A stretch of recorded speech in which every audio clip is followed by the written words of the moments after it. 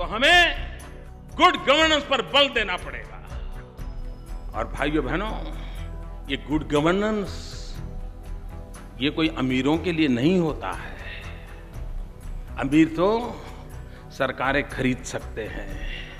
Good governance गरीब के लिए होता है, सामान्य वंचितों के लिए होता है, दलित के लिए होता है, पीड़ित के लिए होता है, शोषित के लिए होता है।